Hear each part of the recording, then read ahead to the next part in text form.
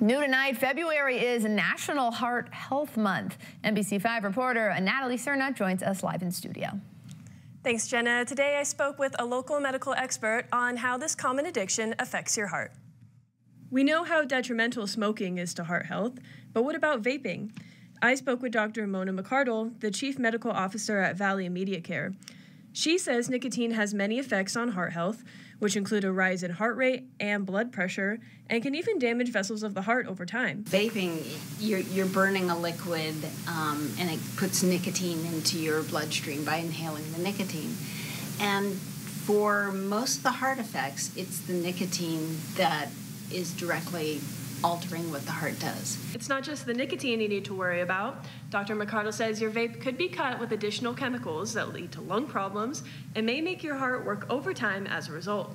Specifically for vaping, you have the nicotine, which we do know a fair amount about, but there's also all these other chemicals in the vape material that um, are not just pure nicotine.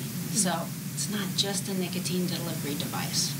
Although McArdle says that vaping may be less harmful than cigarettes, sweet flavored vapes attract children who perhaps otherwise wouldn't have been exposed to the addictive effects of nicotine. Dr. McArdle says that since e-cigarettes are relatively new, we will have to wait to see studies on lifelong effects. Live in studio, Natalie Cerna, NBC5 News.